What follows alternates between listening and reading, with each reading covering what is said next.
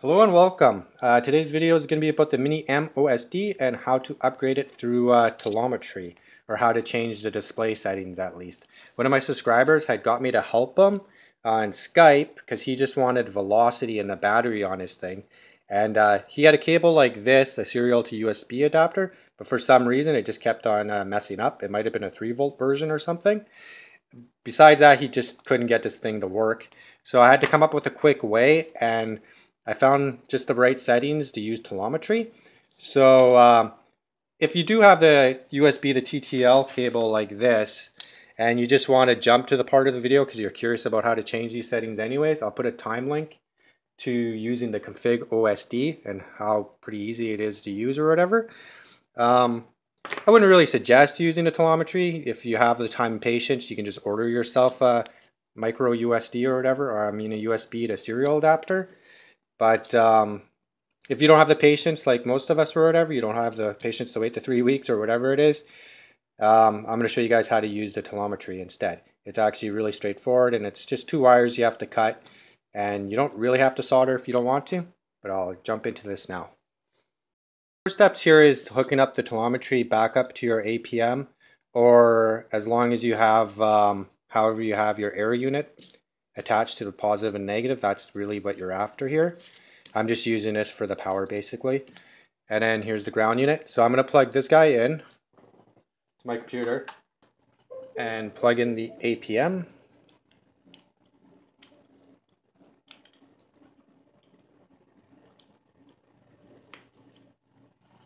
You should get a green dot and then some blinking orange if everything's right, but I'm not going to get into that part. So extract my package. And uh, I might have more files than this. I'll first show you the 3D uh, config. So if you don't have Mission Planner, you can use this program. Or you can just use this program. You don't have to use Mission Planner if you don't want to. So open this guy. Change the COM port to whatever one was detected. I believe mine's COM3 and then make sure the baud rate's at 57600 and then you're going to click load settings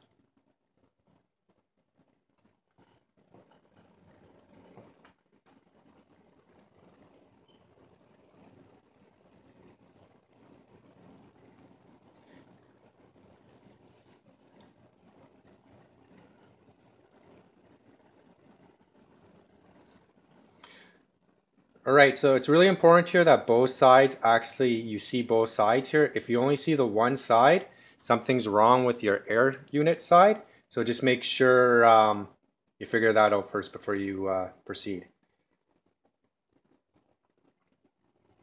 So things uh, you're gonna wanna also maybe print screen or just use my video for the settings here. They should be the same as mine. You might have a different TX power though. But you can either write these settings down or just take a picture of it or whatever, or just use mine as a reference. All right, so these, these are the things you're gonna have to change. The 64 airspeed, change it to 192, and then go to this side and change it to 192. You can use copy required items to the remote side, but just make sure you get exactly the same on both sides. Uh, ECC, uncheck that, uncheck that one. Mavlink, change it to raw data, change this guy to raw data, and then op resend, uncheck that, uncheck that, and then just again look quickly over it, making sure it's the same. After it is, click Save Settings. So in Mission Planner, you'll probably get errors. So I'll just show after I'm done this, I'll show the Mission Planner way. So this just takes a couple of seconds here.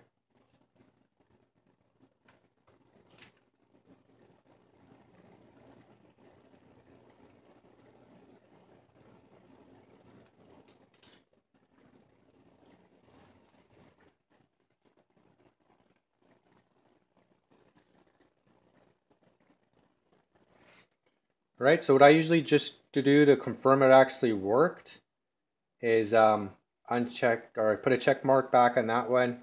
And then this side here, don't click save settings, click on load settings again.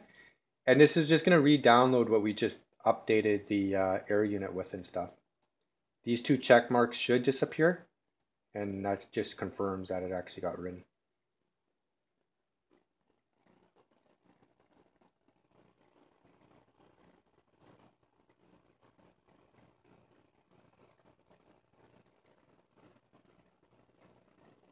All right, so those two check marks did disappear. So that's perfect. All right, so I'm to show you the mission planner. So open up mission planner. Here, change the COM port to the one that got detected and make sure the baud rate at 57600. Don't push connect. Go to initial setup, optional hardware, click radio, and then click load settings. And it looks just like the other 3DR program. Except this one usually gives errors. But I'll show you that it still works even with the errors.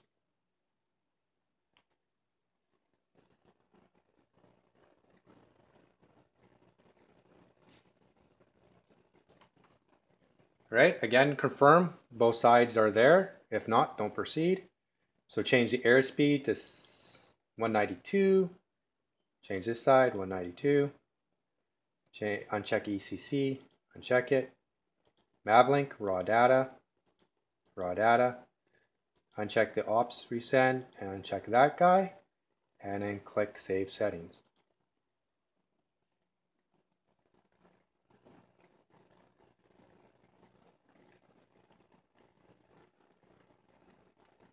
And if I don't, yeah, okay, I did get the error. So if you do get these errors here, just push OK.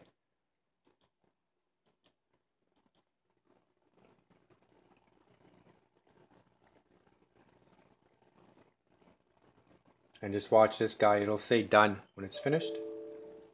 And it's done.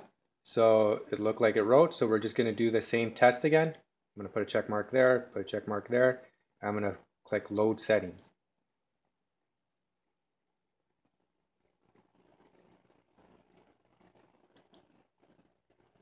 Try it again.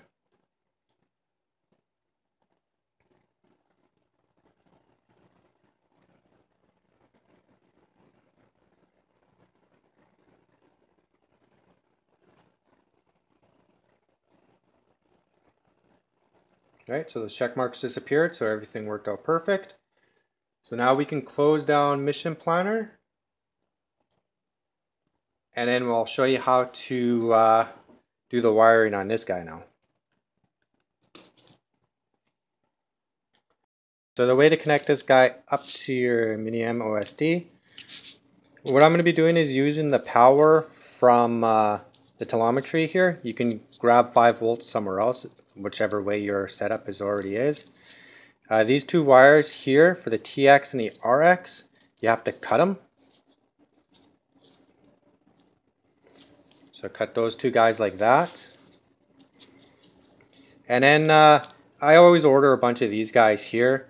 If you have already have a bunch of servo wires like this, you can also just take them out of here like that. For the powering the the Mini-M OSD, again, you should already have a way of powering it because this is just uh, showing you how to update the OSD. So you, it should already be powered.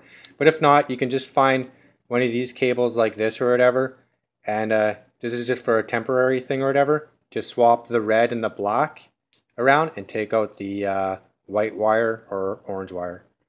But I'm gonna just going to be using two wires like this to power it. So your TX and your RX is needed here. So the RX here would be connected to the green wire on this guy here. It's alright that you get the RX and TX backwards. You just won't get no readings. It's just important you don't get the uh, 5 volts and ground backwards, that's all. That's pretty frayed here.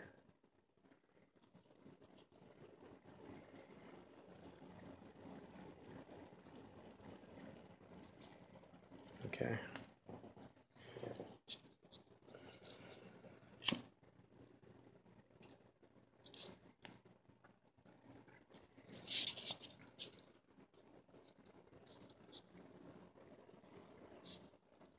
So on the APM side, you have your TX and your RX. Just make sure they don't short out on anything. They're just not needed right now. We're really just after the power. And then we want to power the mini MOSD. So I'm just going to find 5 volts in the middle rail on this side and then the ground. And I'm going to plug in the 5 volts here. Just confirm underneath your board where it says ground 5 volt RXTX and then plug in your ground. BLK, I think we found out too that it's actually ground as well. So you can put this here or there, but just use the ground anyways. All right, so make sure these are connected properly. And uh, you have to be able to get to this reset button for the next step. All right, so this guy here, make sure it's plugged into your computer.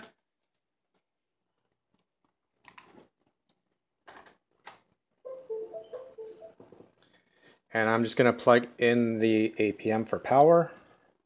So the light on this guy should come on and the light on your Mini M OSD should come on. So open up my package folder and go into the config OSD 20 and then double click on the OSD config. Right, go to uh, panel 1 and here's all the things you can change. So the trick here is hold down the button here, the reset button. Just hold it down like that and then click read from OSD. Once you've clicked on it, let go of the um, reset button. So if you get failed to talk to bootloader, you might have to turn the TX and the RX around. I'll try it again just to make sure.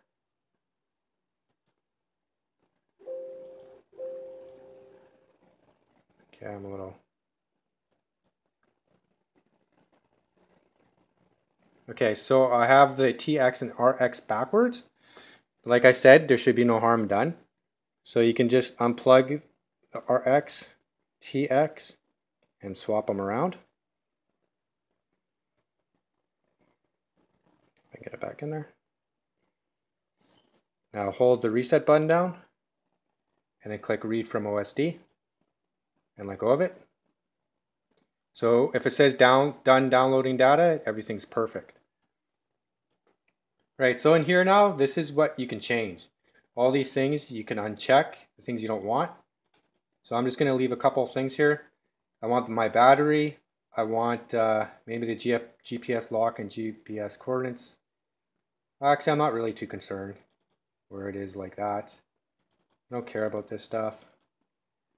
Home direction doesn't really bug me either. Altitude, I should know how high it is because I can see it. So I'm just going to put the very basics is the battery and the current. Maybe the flight mode.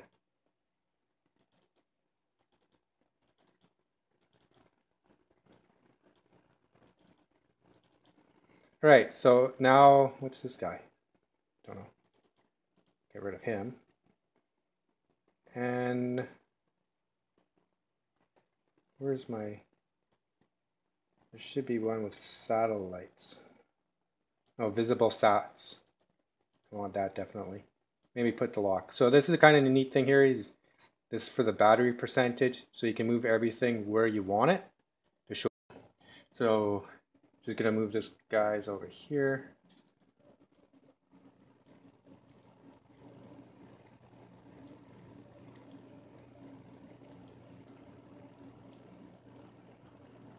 That's pretty messy actually. The lock there. Alright, so to update it now, just hold down the reset button again. Let's plug this guy back in. I plugged it for a second.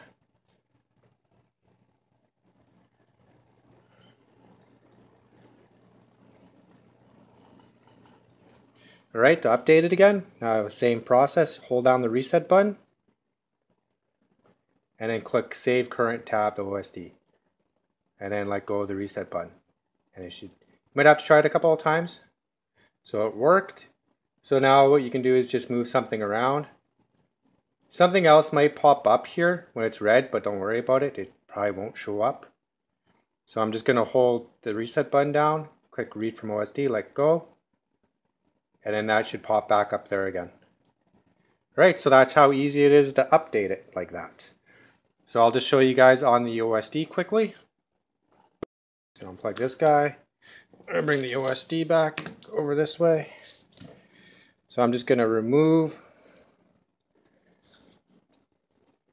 Uh, how am I to do this? Yeah, I'm just going to remove the telemetry for now.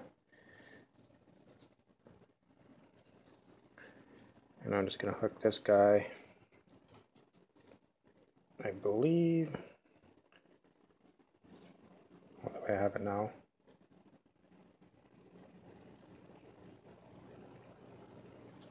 So I might have these guys backwards again.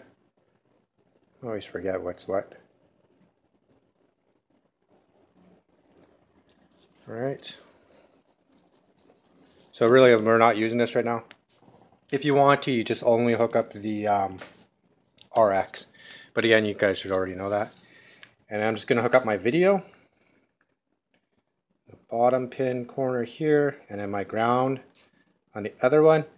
And I just have a cheap thing actually directly soldered onto an end like this for the display here. Just for this video. PM to power everything.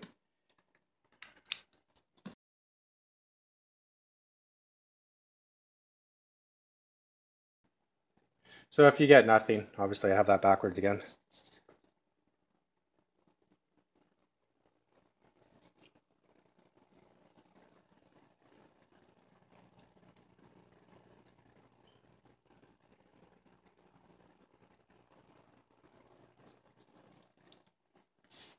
Alright, so that's how clean the screen is now. Just like we did it in the software. Alright guys, so I just wanted to show you how easy it was. Um, don't power everything off your APM like I did in this video. This is just a crude way of me getting everything working quickly. You'll most likely brown out your APM if you're up in the air, if you have too many things plugged into it. And uh, yeah, anyways, I hope this helped some, somebody out at least. Uh, like and subscribe, and that's all. Thanks guys, bye.